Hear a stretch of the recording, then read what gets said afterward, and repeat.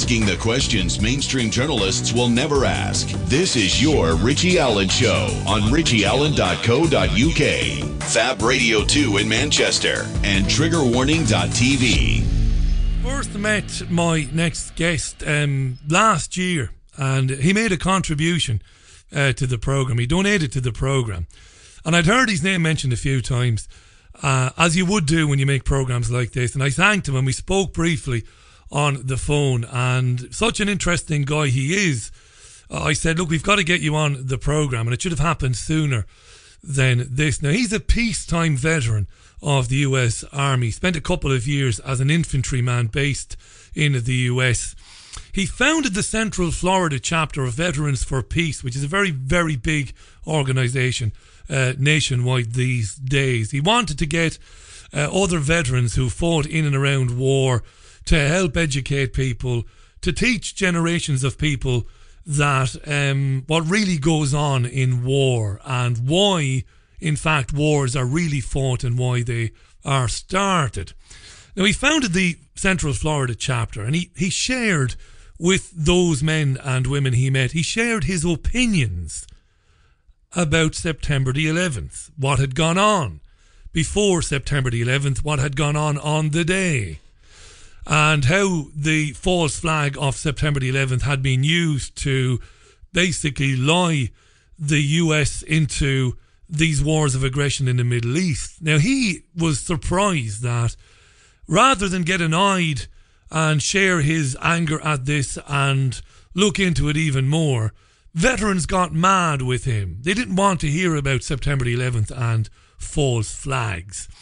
And he also found that there was a kind of an identity politics kind of undercurrent to the Veterans for Peace movement, but not just Veterans for Peace, the the anti-war movement in general, and that there was a kind of if you're a lefty, you're in, and if you're not, you're not wanted. He also found that um, after the Veterans for Peace members passed a resolution to impeach Barack Obama for war crimes in Libya, actually the national leadership of the organization vetoed that uh, decision and did everything it could to neutralize the call from the rank and file to impeach Barack Obama. So he became disillusioned with the peace movement. Is he still disillusioned?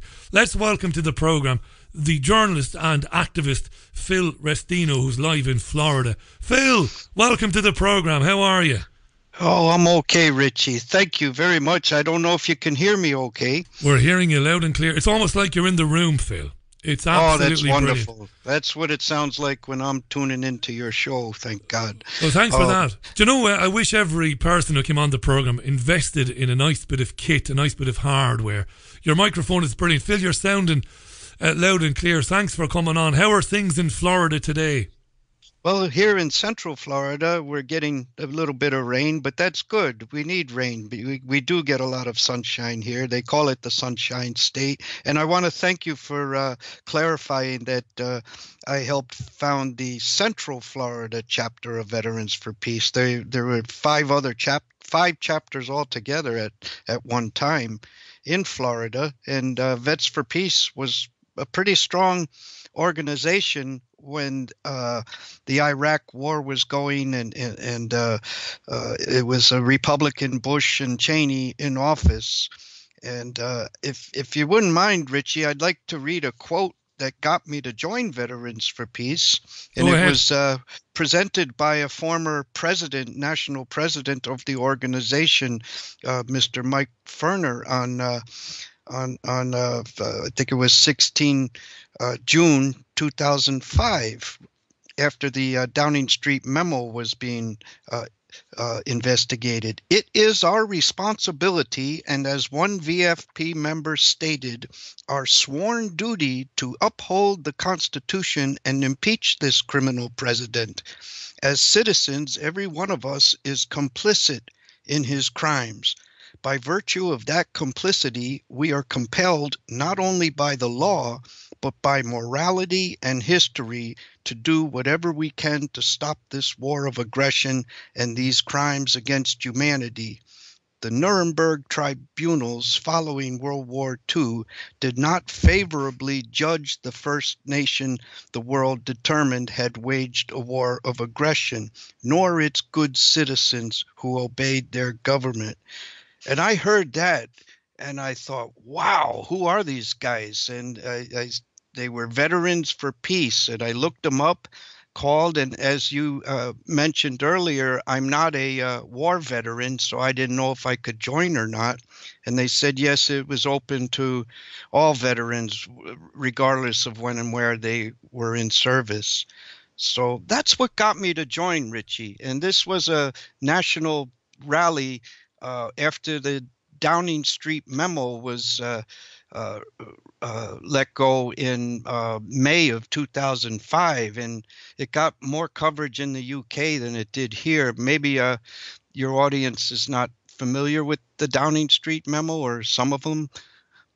I don't know. Oh, should I? There's yeah, do Phil. I, am sure that well, this audience, I'm sure, certainly will be. Yes, yes. Well, for those who might not know, it was uh, it was revealed uh, that uh, Tony Blair's uh, Prime Minister Blair's uh, top uh, cabinet uh, met with uh, their counterparts with uh, President George Bush's cabinet in in 2002 I think it was summer 2002, where they were trying to find a reason to wage war on Iraq, and they settled on this uh, this uh, uh, threat of weapons of mass destruction and how if uh, the, the the UK and the US didn't go and attack Iraq first, uh, you know, they would get attacked. Our, our nations would be attacked by them or could be. And uh, it, they knew it was a lie, so they said they were going to manufacture the evidence around the the uh, the lie, you know, basically. And th- this was revealed in a leaked memo in the UK, and then it hit the newspapers here in the US on uh, May 1st, 2005, and then it was gone, you know. But it didn't slip past the anti-war people and and to me that I thought, wow, you know, it's a flat out lie. We've got uh, we've got smoking gun evidence here. This should be it. This should uh, be enough to stop the uh, the war in Iraq, and and it wasn't. Well, it wasn't because the media in your country and in this country acted as cheerleaders. Now I know that's a, a cliche yes. and it's been used a million times, but it's a fact. In fact, tragically, several years ago the Guardian and some other newspapers actually openly apologised for, for their conduct in the lead up to the Iraq War. Uh, incredible that we would talk about that today when these same newspapers are not asking questions about the Sergei Skripal poisoning. But that's another story. That's right, yes. the smoking gun memo, yeah, written by a guy called Matthew Rycroft, of course um, back in 2002. So you expected, of course, Phil, like everybody else, well, the media will tear the president a, a new one, and we well, won't we won't be going to war, and that will be the end of it. Well, uh, I kind of had a, a, feel for the media uh, not you know being uh, uh, complicit um, based on the, the the outrageous buildup to the war on Iraq, and uh, in, in how they were uh, treating anyone who questioned it. Even the uh, the the chief United Nations weapon inspector Scott Ritter, who was a uh, an officer in the first Gulf War, and then he was a chief inspector on the UN inspection team after that, and he was all over the TV. And here was a decorated uh, Marine veteran, and, and uh, uh, hear these talking heads on TV, or, or, instead of not only were they not listening to them, but they were calling them names, and and it, it just blew my mind what the media had become, and and uh, I I do want to compare uh, what we've been through here with this generation's Vietnam and the Vietnam that took place in, uh, in the 1960s and early 70s. Uh, back then, the media wasn't as uh, consolidated as it is in ownership. And there was very important, there was a military draft, you know. And, and I, I, I say, uh, when we first came out to uh, protest this war, uh, my lady friend uh, Kathy Bracewell and a few of us went out there, and, and she looked around and said, "Where is everybody?" Because she had uh, protested the uh, Vietnam War when her brother, her only brother, was in Vietnam, and it was a much bigger opposition to the same kind of policy and the same kind of killing. Do do rem- we can remind our listeners that this was this was a, a Pentagon policy. Phil is pointing out a, a, really important area of recent history. The U.S. media was was was very much um, a different thing than it is now, and it reported very critically on the Vietnam War, and it brought the reality of the Vietnam War into people's living rooms, into their dining rooms when they were having dinner. And the Pentagon decided, didn't it, Phil, after the Vietnam War, that it would never allow such a thing happen again. And one of yes. the one, one of the things it adopted, of course, was this idea of embedding journalists with various platoons and various squadrons. So it would basically take the media into uh, its um, bosom. Basically, it would go into Iraq. It would, it would it would go uh, into these wars of aggression, and it would have journalists basically under control. It would be able to monitor what it what it was the journalists saw, what they didn't see, more importantly, and um, it would basically get to write their stories for them. That's what we've yes. seen happen. Yeah. Yeah. Yes, and and so they learned from Vietnam, you know, buy up the media, control the messaging, and whatever you can do, do not have a, a, a forced military draft. And, uh, you know, they didn't need it anyway. They had the economic draft, meaning there's uh, colleges, uh, you know, cost more than the price of a, a, a home, and uh, people are these young people are getting into debt, and there's no jobs. So, uh, and here's another thing. Uh, there's that quote. Uh, you, the the pre- previous guest spoke of Nuremberg uh, a little bit. After Nuremberg, there was the quote from uh what was this? Hermann Goering. You know, Reichsmarshal Hermann Goering, who said, uh, "It's easy to take a country to war. All you have to do is uh, tell them they're." Uh, they're being attacked and criticize any any of the peacemakers uh, objecting as being unpatriotic and putting the country to risk. And and that's what they did here. That media they called anyone who wore a uniform a hero and that's all we kept hearing. And i'm sure there were plenty of men and women who who did heroic things and, and faced great danger in battle. But the point here is they shouldn't have been there in the first place. And uh, so any questioning of the war here had the same effect. You know, uh, we were looked at as as unpatriotic, uh, putting our troops at rest, at risk, and being traitors. And uh, but you know what, Richie, the the thing I wanted to share, if possible, but you know, in our time together today, was I believe that we should never have gotten to the point of launching a war. We had, uh, we had these guys with the 9/11 lie, which had so many holes in it. Well, I really want to talk about that, Phil, because one of yeah. the things, one of the things that's coming up a lot in the last 18 months or so it's not new, but I think people are becoming more aware of it. Identity politics, and you you talk. Uh, we're going to talk now about your astonishment that among people like yourself who want to stop wars of aggression, who want to lock up criminal politicians, lawyers, warmongers, that when presented with evidence that and I, I've done so many programs, sometimes with guests, sometimes on my own, talking about the laughable 9 11 Commission report, which I've read. I read every single word of it. It took me ages. First time around, then I read it again. I know it intimately. It is laughable. It has been denied by uh, by, by, by Hamilton and Kean, the authors of it. It's been disowned by them uh, since mm-hmm. then. So you're talking to people when when when you first get involved in the peace movement and you're talking to them about well look obviously we're heading off to Iraq and we're being told it's all about Saddam weapons of mass destruction and also the big lie that Saddam harbored Al Qaeda terrorists which is another ridiculous lie. I mean so ridiculous again because of religious differences. We won't even go into that.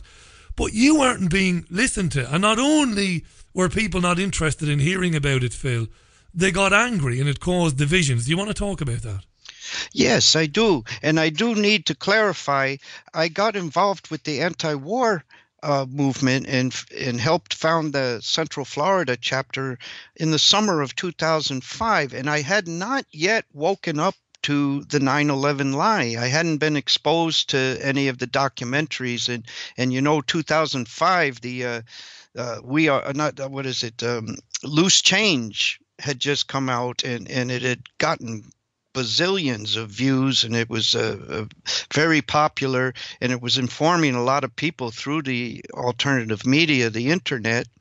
And so so i was more on board with the veterans for peace uh, saying wow these guys are really uh, on the mark you know? And, and, you know and they did a lot of work to uh, to make a case for impeachment for this war of aggression. And then in uh, uh, the fall of 2005, somebody gave me one of those DVDs, uh, uh, In Plane Site. Uh, and I watched that and my jaw hit the ground. And I thought, we've got to get this message out. And I really did think, Richie, uh, I was naive. I thought if I showed other people this video, that they would have the same reaction as me, which was get mad, you know, and not instead they got mad at me. they got mad the at time. you. This yeah. is this is we, we must mention Korey Rowe and Dylan Avery made loose change. And yes. I had the pleasure of speaking with Dylan twice. The first time it was very interesting. The second time it was a car crash interview because God love him, he was so depressed. Because I think those guys thought when they put loose change on the market, because it's an excellent film, I mean, some of the conclusions it draws, you know, in terms of the missile underneath the plane and all that, I don't know if those were conclusive, but they did a brilliant job of dismantling most of the official story. So it's an excellent film. And I, and I think those guys thought, like you, Phil, because when I first saw it in 2005, 2006, about the same time as you, I thought, right, well, I'm going to show this to as many people as I can. I did in Spain show it to as many people as I could. And I largely got the same reaction. Ah, it's a load of nonsense, that, Richie. I'm like, what's a load of nonsense about it?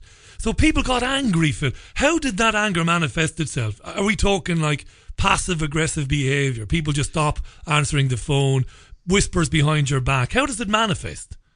Well, uh, I think on a one to one basis, a lot of it was, oh, you're one of those conspiracy yeah. nuts you know uh, don't you know that what a and then there was the dishonoring those who were killed uh, and i think there could be no greater uh, betrayal or dishonor to those killed on 9/11 and uh, in thereafter in the name of 9/11 than denying the pursuit of truth you know as to what happened and uh, but a lot of people uh, I think there's a lot of fear of uh, you know if I if I start talking about this, what are people going to think of me? You know, and there's that uh, fear of being separated from the herd, and uh, it, most people, Richie, I came to find, are followers, and that's what I wanted to. That's what I came to uh, suspect about the leadership of the anti-war movement after a while. You know, it doesn't take but a few people to lead millions you know and, and you've talked about this in the past how just before the invasion of iraq in 2002 and early 2003 there were tens of millions of people on the streets in the us in the uk and in europe uh, saying no do not launch this attack on iraq. Now we had critical mass there and if those same leaders said, you know, there's uh, as Bob Bowman, Colonel Bob Bowman, uh, our, our friend here, the late Colonel Bob Bowman, who was a fighter pilot, was a, an interceptor pilot, and he also um, was uh, multiple uh, degrees in advanced degrees in different uh, uh, aspects of engineering. This guy was an expert. And as Bob Bowman used to say, there's no way in heck that four known to be hijacked jumbo jet airliners fly around the northeast corridor of the United States for 90 minutes without being intercepted. And there's no way in heck that uh, uh, fires fueled by kerosene based jet fuel and office furnishings could make two 110 story uh, steel frame concrete buildings blow up into dust and fall in perfect symmetry and nearly free fall speed.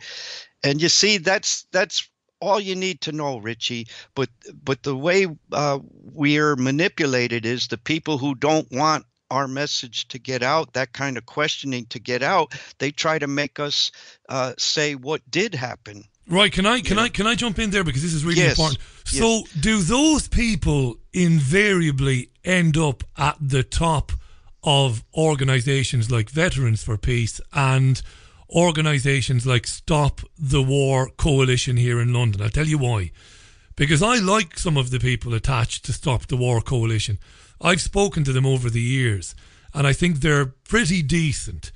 They won't tolerate any talk about, you know, MI5 and Mossad arming ISIS. They don't want to hear any of that. And they don't want to hear any talk about conspiracy theories about 9 11. And I'll tell you why I think this is. Now, feel free, Phil, to absolutely wipe out my argument if I'm wrong. But I think that the people who get to the top of these organizations, they are leftists with serious political ambitions of their own. That's what I believe. And they find a way I mean, you talked about the the rank and file members of Veterans for Peace, and I know I'm jumping ahead a little bit, who wanted to impeach Obama, and yet the the leadership managed to veto that because these organizations are, are either consciously or subconsciously infiltrated by people that are system people and have political ambitions. Am I wrong? Well, uh, I am wrong. I would think. Well, I, it's hard to give a blanket statement like that Yeah. because uh, so many people, uh, you know, came to these organizations uh, because they thought what was going on was wrong and they wanted to do something about it to stop it. And but I think, uh, and sure, uh, we'd be very naive to think that there weren't uh, people in place whose job it was to uh, uh, keep the gate, so to speak, as far as uh, uh, uh, posing any real threat to the status quo. Yeah. I mean, if you go back to the 1960s, uh, you know, the FBI here in, in, in the States, they had all kinds of infiltration of the anti war. Uh, uh, movement and the Black Panther Party and all that. Uh, any any threat to uh, uh, you know the status quo, the the power elite there uh, is a threat that they want to neutralize. But I think uh, more uh, at play here was was how deep this uh, identity with one side or the other and and uh, uh, dividing a country into two political parties is brilliant you know you want to neutralize a, a, a big group of people uh, there you go divide them in half and and uh, I, people uh, they grow up and it this identity of the a lot of times with the one political party or the or the other the left or the right we're so conditioned to look at the other side Yeah. as the problem and i saw that in the anti-war movement you know uh, when it came to having a real opportunity to stop the war it it they chose uh, uh, fighting the the other side instead and i could give you a, a, a very troubling example of that Well, just before you do, obviously we won't mention any names of anybody who's not here to defend themselves, but just before we do, because at the time it must be what Phil is getting at. While the while George W. Bush was was president at the time, and his vice president was Dick Cheney, and Rumsfeld, of course, defense secretary at the time, and I think the Republicans had the Senate. They would have had the Senate, of course. They had Congress as well. The fact is, Phil, you're making a point here. Correct me if I'm wrong. That they there wasn't an awful lot of opposition to the war in the Democrat Party at all, but yet many of these um, protesters, many of these um, Veterans for Peace members, would focus their wrath or their ire on Republicans, but wouldn't have anything to say about those Democrats who were going along with the rush to war. That's true as well, right? Uh, to some degree, Richie. Here in the states, uh, there was uh, and it was very partisan, you know, and, and the, uh, the, the the left and the anti-war people uh, uh, made a, a tremendous case for uh, the war being illegal and impeaching the president. But the thing is, uh, rather than look at it as the office of the president, we look at it as a person and the leader of the other team, you know. So we really had an opportunity to actually stop the war when the Democrat Obama came in in 2009. He was elected in 2008. And that's when our chapter initiated the uh, impeachment resolution. And uh, it was an article. The third day in office, Obama sends drones into Pakistan, kills a bunch of people. And one of our group members, Tom Santoni, uh, wrote an article, Impeach Obama, you know, and saying, look, you know, this guy just did what for four, five years we've been calling for impeachment for Bush yeah, over, you yeah, know, yeah, and and and uh, that's what led to the resolution, and and uh, uh, we finally got it passed uh, uh, at the 2011 convention, and then the that same guy who I quoted earlier, you know, our responsibility, our duty, is yeah, uh, to impeach the, you know, the the one that got me to join Veterans for Peace.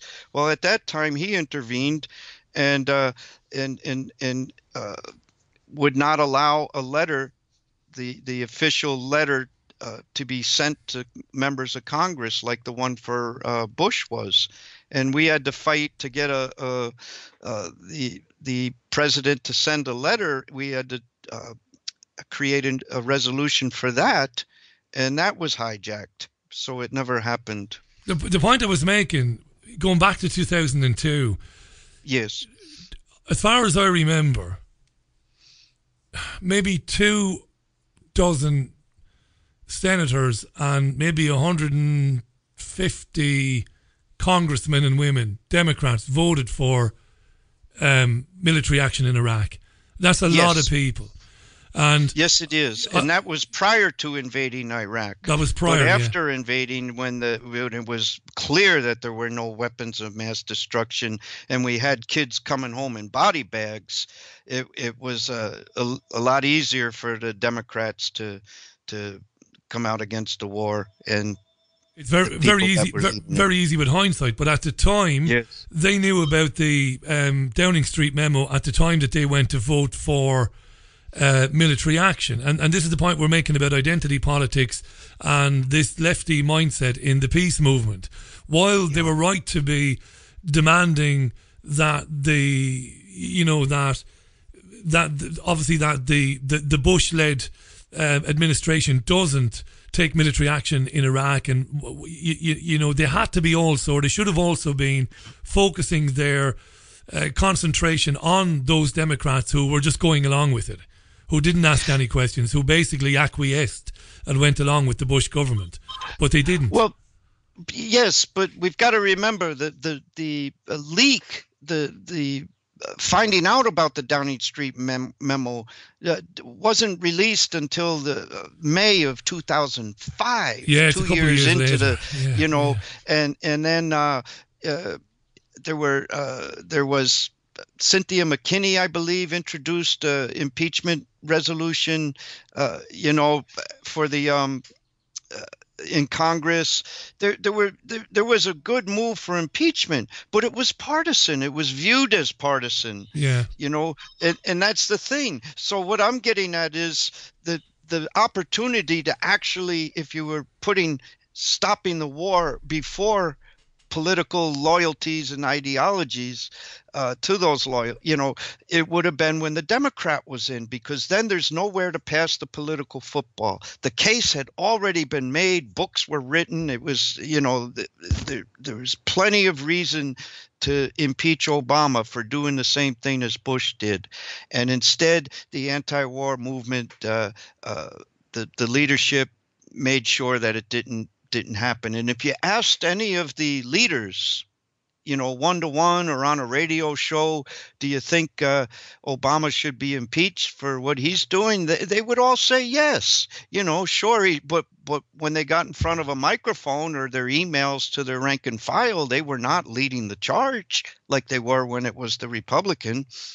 And and so, what was uh, relevant back in 2002, Richie, before the wars were starting, was the 9 11 lie. There had already been a, a ridiculous amount of uh, uh, uh anomalies uh, uh, revealed, you know, to show that the whole, the sole one and only reason given for the wars was was bogus you know and and we had i mentioned colonel bob bowman earlier he he was a, a hero uh, to the anti-war movement. You see, back in the 70s, he was the director of uh, the Pentagon's uh, uh, Star Wars program, you know, and then he retired, and he was uh, a couple years out of retirement, and the the Reagan administration was in, and some of the same characters, uh, Rumsfeld and Cheney, were back then, and they wanted to take the program and use it as an offensive first strike weapon, and uh, the the chairmans of the chiefs chief uh, you know the joint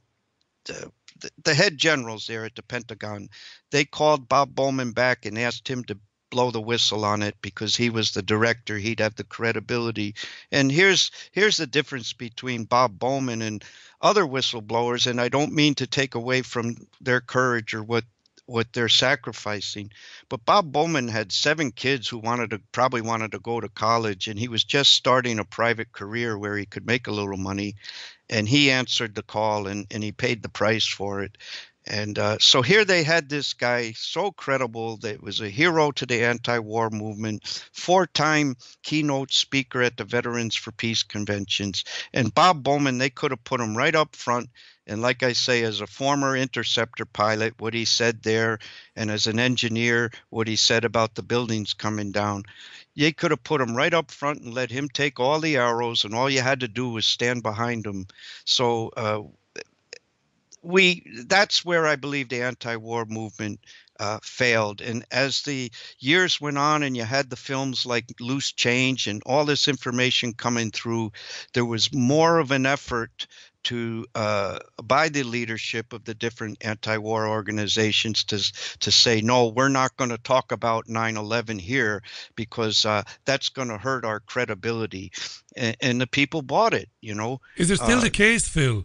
By yes. the way, you're right to correct me about the memo. Of course, the Democrats wouldn't have known about the Downing Street memo. We could argue about Hans Blix. I know Blix, it was very early 2003 when Blix was saying, I can't find anything there. We could argue about that, but you're right to make the point that, that uh, I have to be honest on the programme. The Democrats couldn't have known about the memo in 2002. But we're on a very important point here about Bob Bowman and how Bob Bowman could have been used and um, put out front, as you said, his credibility was unimpeachable.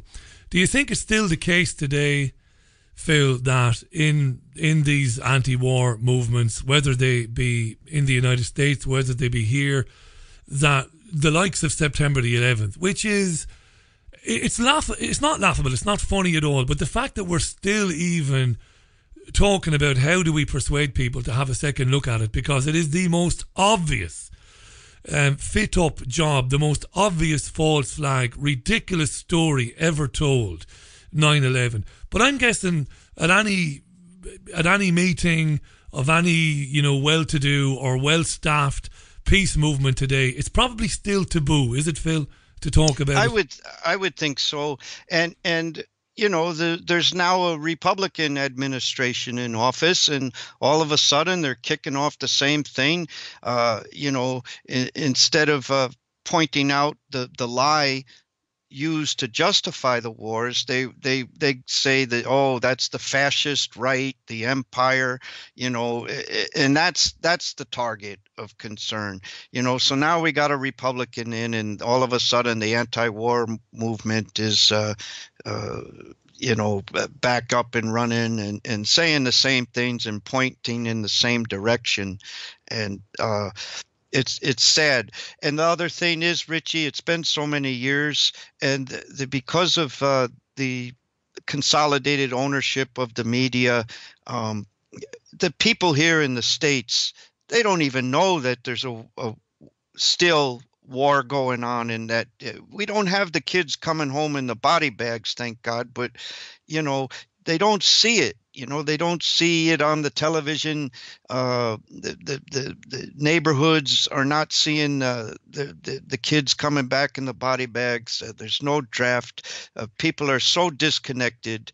And i think that what we have to do those of us who, who give a damn is to try to find a way to connect um, what's happening in our name. You know, uh, we're using drones now and, and Tomahawk missiles, but they're still killing millions of people. But uh, we've got to find a way to make that connection uh, to let folks still. Uh, to know that there's still warfare going on in the name of 9/11, and that's why I try to ask people as much as possible to refer to the global war on terror as the 9/11 wars to to to make that connection that it's 9-11 that's still justifying all of this. Let me remind our listeners, Phil, um, we're, we're, we're joined this evening, um, it's in the afternoon there, of course, in central Florida, um, about time too, by uh, peacetime veteran of the U.S. Army, Phil Restino, who founded the Central Florida chapter of Veterans for Peace. Phil's a journalist and a good journalist as well. Uh, Phil will tell us in a minute where you can um, read and find out more about him. 9/11 is massive, Phil. It's massive, and I, I think it's it's so worthwhile to keep making time for it on programs like this. You know, as we go on, frustrating sometimes as it is to be talking about it and rehashing the same things. I think it's vitally important. The identity politics thing, though, is you know I'm uh, a Democrat or I'm a, a, liberal is very important because even before 9 11, you made a very good point there a minute ago. You made an excellent point actually about the anti war movement is back up and running again now that Donald Trump uh, is in the White House. But Phil, you can go back to pre W. Bush, you can go back to Clinton and Kosovo. Mm-hmm. And presumably the anti war, anti interventionist movement wasn't doing very much when you know Clinton and Blair um, were basically you, you, know responsible for a genocide in Kosovo. Yes, yes, it, it's so true. It uh, and you go back to the president prior to that, uh, Bush and uh, uh Bush Senior and Ronald Reagan you know uh, their war activities they were all that's how veterans for peace started in 1985 was uh, the veterans were concerned about the U.S. Uh, uh, in Central America, you know, yeah. and and yes, the, this identity of being a Democrat or a Republican, it, it's uh, God, we've got to step away from that. And you know, people ask, you ask a, you know, what are you? You know, that instead of saying I'm I'm a human, you know, uh, I'm a Democrat or I'm a Republican, people go right to that. It, Phil, if if, yeah. if if um, forget Hillary, right? Because Hillary is Hillary, and I like to think that even even some rank and file card carrying Democrat liberals would be would be appalled by the murderous the lunatic that is Hillary Clinton. Let's imagine Trump didn't win and a Democrat called Jimmy Murphy won. So Jimmy Murphy is in. He's the president, not Trump. And imagine Jimmy Murphy has has authorized a no-fly zone over Syria and is bombing government positions in Syria. Are you telling me that a lot of the anti-war movement just wouldn't come out to protest that?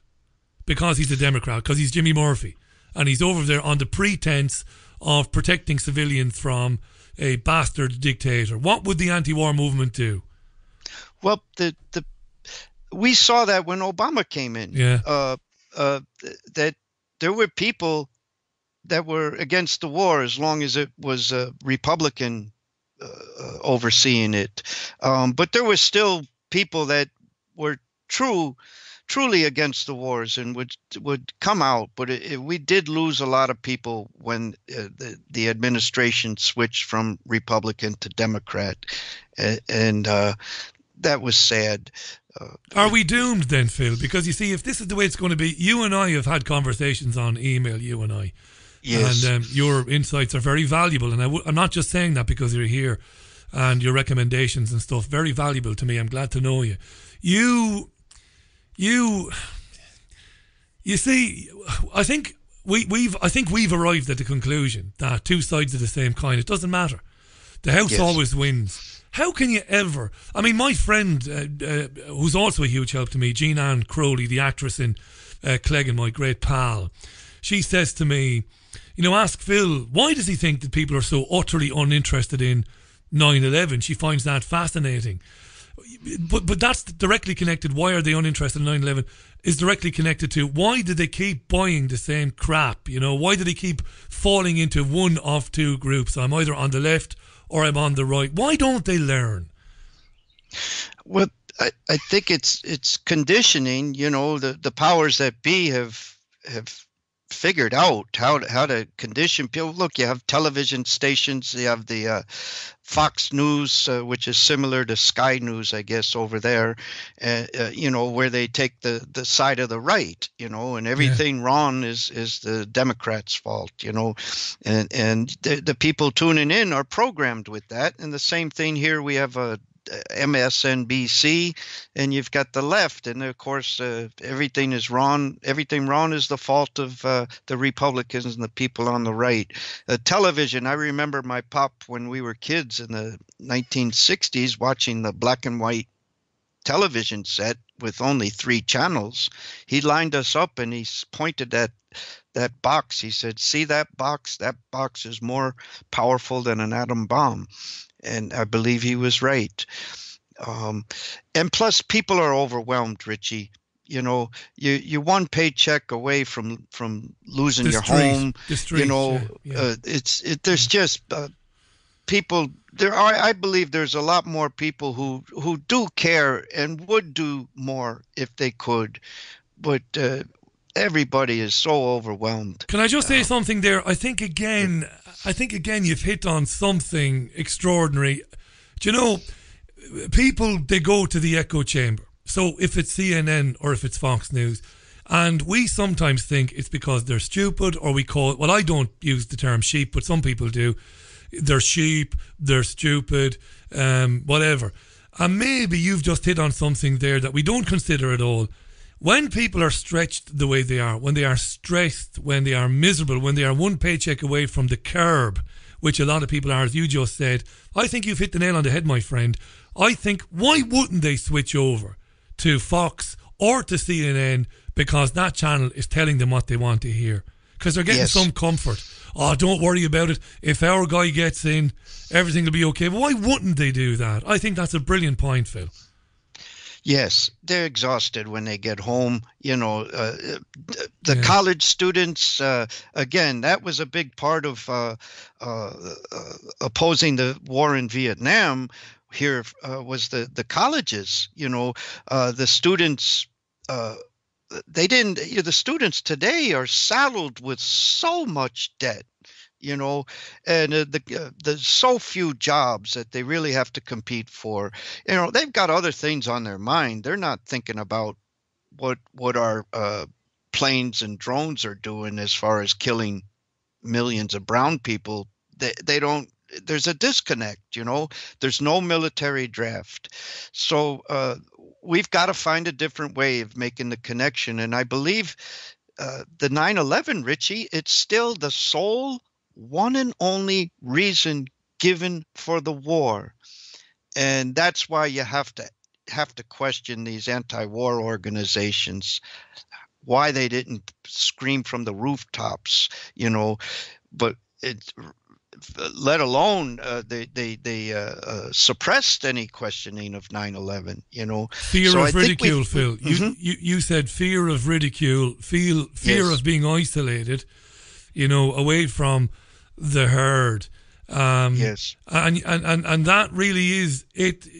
I, you know, I, I tend to think you're right. I- I don't think, for most people, I don't think there's anything sinister about why they didn't want to talk about 9/11. I really do believe it's the power of, it's the power of the popularity contest. It's the power of being in in in amongst the herd and not to be out there on your own. Oh, look at that idiot there. He believes that. The government was complicit in the 9/11 attacks. I think you're absolute, and I think it endures today that fear. Uh, how do Yes. we how do we get we've got about two and a half minutes left phil Okay. how do we get around that how can we use what happened on 9-11 because each year that goes by it's like the bloody kennedy assassination Yes. how, yes. what do we do about that finally I think we all can do something. There's that saying, nobody can do everything, but everybody can do something. I keep a, a stack of flyers on my, the front seat of my car. My friend uh, Brett Bracewell, an activist here, wonderful activist, he keeps a bunch of DVDs on the front seat of his car. Uh, the ones I keep are the firefighters for 9 11 Truth flyers. And whenever I'm in a parking lot and I see a vehicle that has the firefighter emblem on it, I'll put one on the windshield. You know, uh, you can have a bumper sticker on your car if you if you're comfortable with that. Everybody can do something. You know, if you you called and there's uh, phone companies calling you for paying your bill or whatever, you know, and they ask you, is there anything else I can help you with? You know, say, did you ever hear of World Trade Center Building 7? You know, everybody could do something and we must. And uh, as they say, every little engagement like that or of outreach is another pencil hole in the dam. well you're right because you never know who that one person might be uh, 100 people might ignore you but the one Yeah. person you might get through to might turn out to be the next chief justice of the Supreme Court of the United States. And I don't say that for a laugh. You never know. Who might say, well, I'm going to talk about this and I'm going to talk about it on TV. I think that's a, a good point. Phil, where can people find out more about you? I, I have links, but I don't know which ones I should give out. So Well, you go uh, ahead. We shut down our Veterans for Peace website uh, when we uh, disbanded the chapter, and we started a uh, Facebook page of uh, We Are Change CFL. That stands for Central Florida. It's the Bob Bowman Memorial chapter. But I, I wanted to mention uh, I am the face of truth dot com and, and these folks are doing a wonderful job using facebook and social media to to get uh, the 9-11 information out uh, so just get on the web uh, ae911truth.org is another uh, just keep sharing the information every little bit helps Really great to catch up with you, Phil, on the program. It's been um, it's been a long time coming, but I'm glad you did it, and I'll be asking you back again Oh, in, the, so. in, the, in, in, in the next few weeks. No, I will uh, to talk more about uh, these issues. I, I'm, I'm I'm delighted. Thanks for doing it, and um thanks for being interested in not just this show but other shows. Um, without you know people like you and your encouragement, there wouldn't be um, programs like this. So I really mean that, Phil. I wouldn't say it otherwise. Thanks for that Well- today, my friend. I'll give you the final word, and um, I better wrap up then before we get too close to the top of the hour. Sure. Thank you, Richie. This has been a real uh, thrill for me uh, to be on your program. I think it's a wonderful program and, and it's catching on more and more. I know it's big out in Europe, but it's catching on more and more here in the States. And, and uh, I want to thank you once again for the opportunity to, to share what we did today. It was an honour, Phil. I'm glad to have met you, and I look forward to doing it again. Look after yourself, uh, mate, and thanks for coming on today. I really appreciate that. That was Phil Restino, uh, top man, speaking to us live from Central Florida. We will get Phil on again in the near future. There's no doubt about that.